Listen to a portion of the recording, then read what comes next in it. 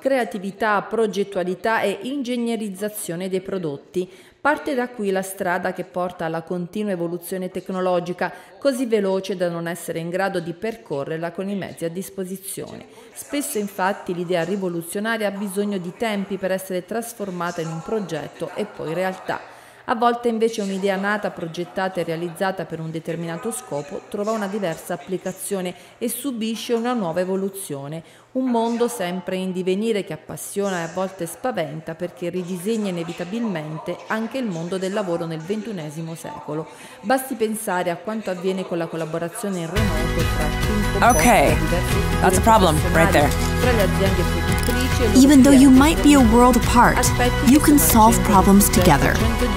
That worked. Promosso da Mediolanum Corporate University, l'ente di formazione di Banca Mediolanum.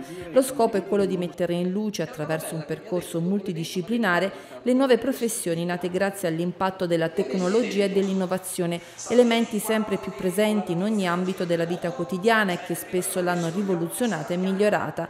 A vestire letteralmente i panni del cicerone tecnologico Giancarlo Orsini, manager di lunga data di Banca Mediolanum. Questa maglietta però ha 12 sensori. Questi sensori comunicano in tempo reale al mio smartphone questi dati. Quei due lassù sono io, la mia postura. Se io in questo momento dovessi svenire, cadere per terra, cosa vedono in tempo reale dall'altra parte del mondo, ma anche voi? Non solo che sono caduto, la velocità e la direzione, sanno se sono fermo o mi sto muovendo, sanno la mia respirazione, la mia ossigenazione, poi mettono questi parametri su questi grafici in basso e abbiamo sempre le ultime 72 ore a disposizione. Prima che accada il fattaccio sanno dove sei, in che condizioni sei, sanno se siamo andati in elicottero, col paramedico oppure no, un'ambulanza, come ricoverarti. Una rivoluzione. Orsini ha poi illustrato come è stato risolto un grave incidente subito da un giocatore di basket durante un allenamento. È il cranio di un giocatore di pallavolo di Modena. Questo ragazzo qua, otto anni fa, giocava in Serie A. Il suo allenatore famosissimo, in allenamento, non in partita, si dimentica di far togliere le panchine a bordo campo. Questo ragazzo scivola, sbatte la testa su una di queste panchine, si sfonda il cranio e va in coma. Viene soccorso con un elicottero che lo porta a Lecco. Questo neurochirurgo genio gli fa un attacco, una risonanza magnetica e un'angiografia. Con questi esami gli elabora un computer e li caccia dentro alla macchina del futuro, che qualcuno chiama ancora stampante 3D. In realtà è qualcosa di più, perché la quarta rivoluzione industriale, è il digital manufacturing. Gli replica il cranio, questa macchina perfettamente come era, con anche la patologia dentro, corrono in sala operatoria con la sua equipe e iniziano a operare il cranio finto per 16 volte perché per 15 volte l'intervento non era riuscito. Alla sedicesima volta, quando l'intervento è riuscito, lo memorizzano al computer, prendono il giocatore, lo operano e l'intervento è andato a buon fine. Curiosità ha poi suscitato l'esoscheletro robotico da lui indossato, una sorta di tuta bionica che trova la sua espressione più nobile e a maggiore impatto emotivo nel settore medico-riabilitativo. L'esoscheletro infatti ha restituito speranza a chi non è più in grado di camminare, ma può essere di grande aiuto anche in altri settori, come ad esempio in determinati lavori o per restituire forza o resistenza perduta agli anziani. Storie che lasciano increduli ed entusiasmano allo stesso tempo e che devono spingerci a non restare passivi di fronte ai cambiamenti inevitabili.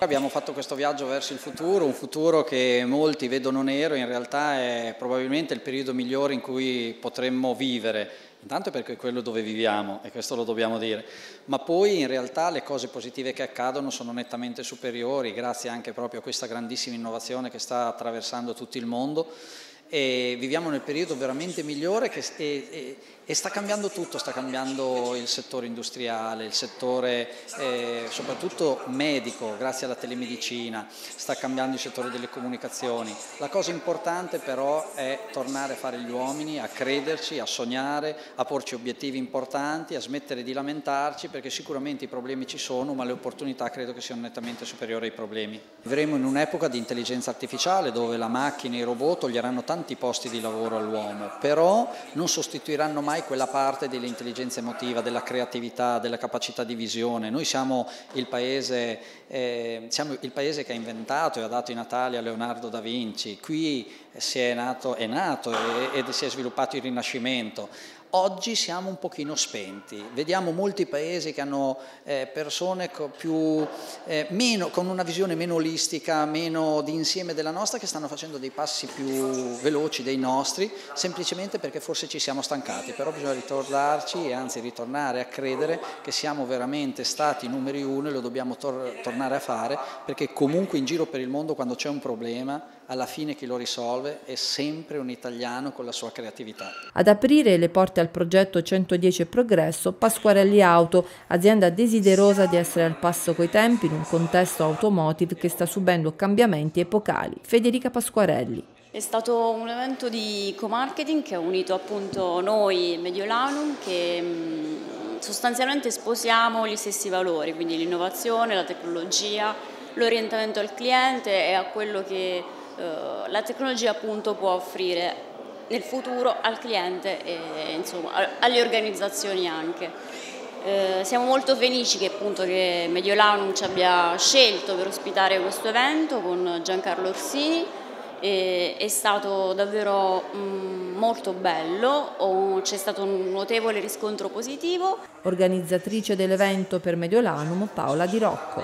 La partnership con il gruppo Pasquarelli nasce dalla condivisione di valori che sono fondamentali, sono fondamentali eh, nella scelta delle cose importanti, nelle scelte di vita, quando si sceglie un'auto, quando si sceglie una banca, è importante che ci siano dei valori che sono la solidità, eh, l'affidabilità e l'assistenza al cliente. Quindi è nata questa collaborazione, la serata è andata molto bene perché il gradimento è stato alto, quando si parla di queste cose si porta un po' di buon umore, fa sempre bene.